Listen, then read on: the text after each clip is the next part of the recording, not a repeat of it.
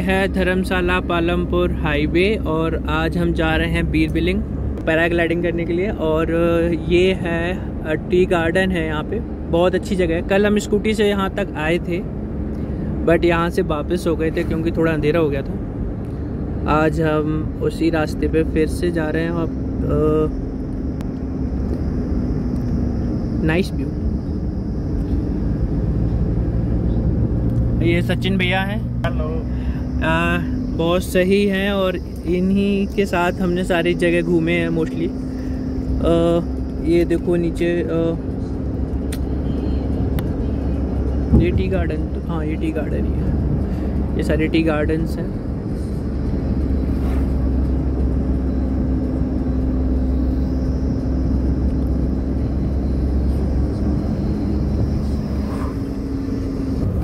अपना वाला अच्छा टी गार्डन अभी अच्छा। उसमें है ना अभी ग्रीनरी है। ओके यहाँ पे धूप ज़्यादा है ना हाँ। तो ये थोड़ा सूख गया। है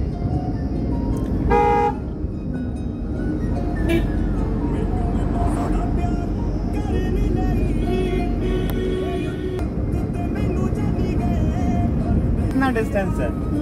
दो किलोमीटर का डिस्टेंस है। ये है गोपालपुर जू।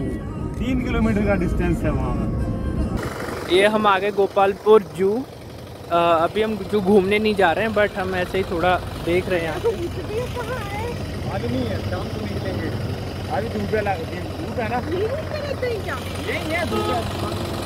अभी भालू देखने आए थे ये पागल देखते। शाम को वापस आएँगे तब देखेंगे हम लोग। अभी आप देखो ये मस्त नज़ारा। चारों तरफ़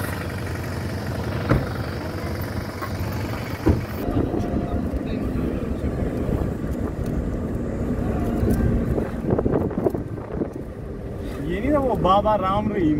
हाँ। उसकी प्रॉपर्टी है ये। ये वाली? वो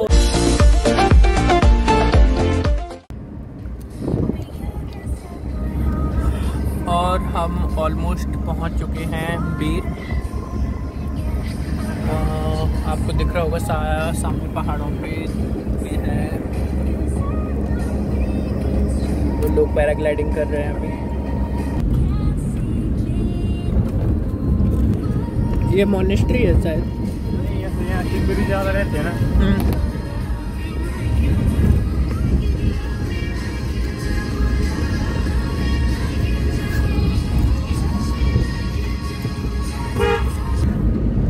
वो देखिए लोग ऊपर पैराग्लाइडिंग कर रहे हैं। दिख रहा है। नाइस बहुत ही ज़्यादा हाइट है।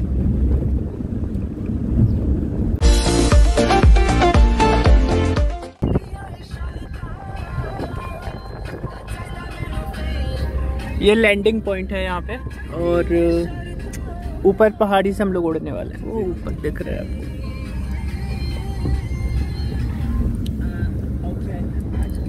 ओ दिखते हैं। मस्त।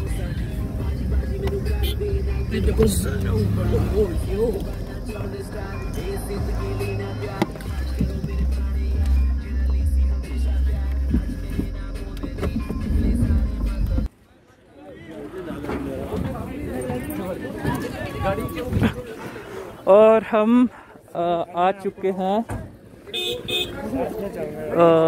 बीर से बिलिंग तक 18 किलोमीटर ऊपर चढ़ के आए पहाड़ी पे।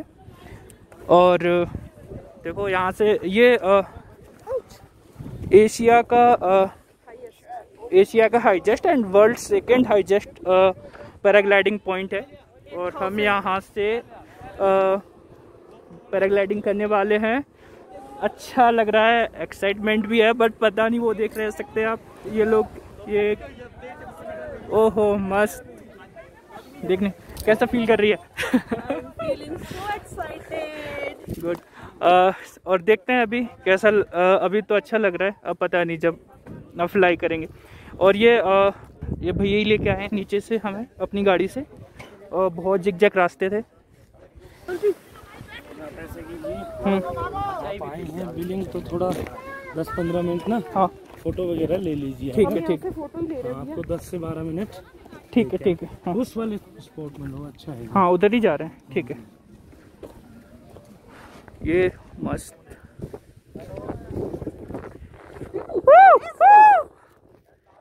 भैया ये क्या है? ये सोलो है? मैम सोलो है ना मैम।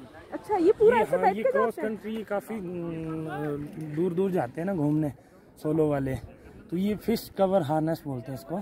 अच्छा। हाँ तो मतलब इसमें रिलैक्स बैठा रहता है पायलट ओके हाँ पाँव जो है वो स्ट्रेट रहते हैं और एकदम भैया हमें कितने दिन की ट्रेनिंग चाहिए सब करने के लिए? ये सर कोर्स रहते हैं सर अच्छा। ये थ्री वन टू थ्री करके। हाँ। तो सर जो पहला कोर्स रहता है वो आपका सात से दस दिन का रहता है सर ओके हाँ जी। तो आप अगर कोर्स करना चाहते हो सर हम्म। तो इधर आ सकते हो प्रॉब्लम अच्छा। कोर्स के चार्जेस क्या है? सर हम्म, तीस हज़ार। तीस हज़ार के समथिंग ओके वन जो। रहेगा वो तीस हज़ार का रहेगा। ओके हाँ? नहीं ना फ़ोटो फाटो लेने हैं, ठीक घूमना ना। रुका ले मत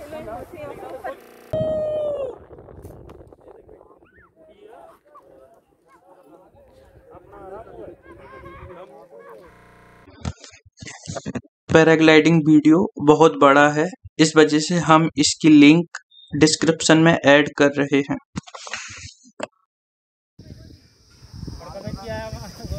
और लैंडिंग कर चुके हैं। और सम एक्सपीरियंस मैं दोबारा करना चाहूँगा, बहुत अच्छा लगा मुझे।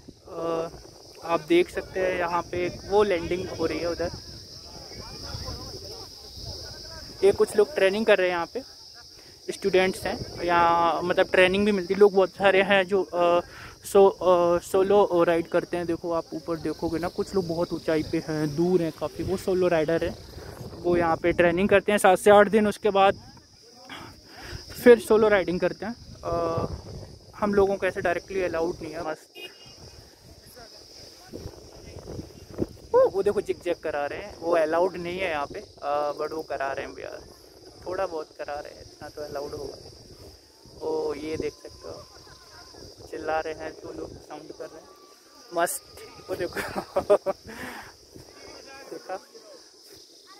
ओ, सही है।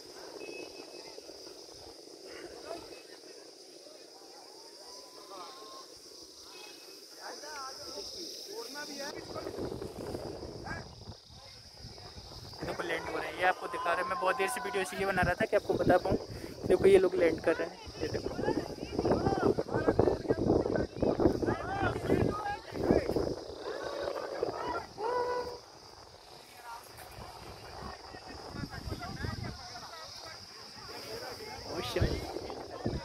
हमने पैराग्लाइडिंग की है उनका ये नाम है ग्रीस्ट अप फ़ूड पॉइंट तो ग्रीस्ट अप कहते हैं इसको। ये इन इन्होंने ही कराया था। इनकी गाड़ी थी जो हमें नीचे से बीर से बिलिंग बिलिंग तक लेके गए थे 18 किलोमीटर। और आप देख सकते हो ये। ये हम अ, बीर बिलिंग से धर्मशाला जा रहे थे। तो ये पालमपुर से आगे ये टी गार्डन है।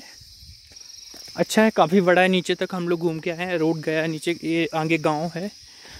तो हाँ मेन रोड से ये रास्ता अंदर की तरफ़ गया तो बहुत यहाँ पे का, काफ़ी बड़े बड़े टी गार्डन्स हैं। आप देख रहे हो कि ये?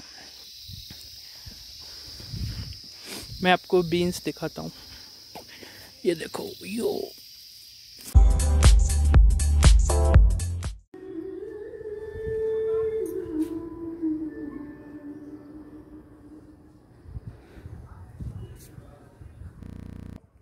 ये है बैजनाथ टेंपल लोगों का ये कहना है कि जब रावण शंकर जी की शिवलिंग को कैलाश से लेके आया था तो वो इधर ही रुका था, बीच में।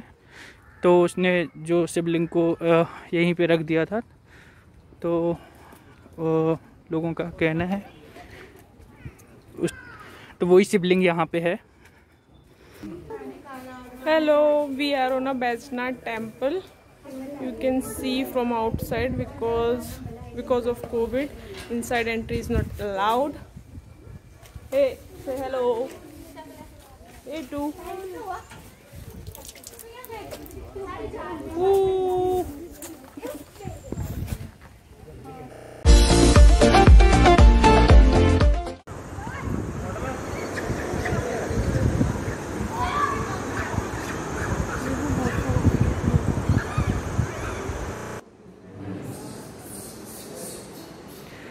ये है चमड़ माता मंदिर। यहाँ अंदर वीडियो लेना अलाउड नहीं है तो मैं बाहर से ले रहा हूँ। ये अ, जब हम पालमपुर से धर्मशाला के की तरफ़ जाते हैं तो रास्ते में मिलता है। काफ़ी बड़ा है मंदिर बहुत बड़ा है।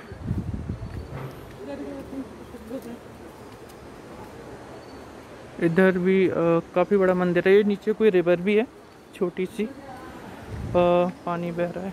वो ब्रिज है।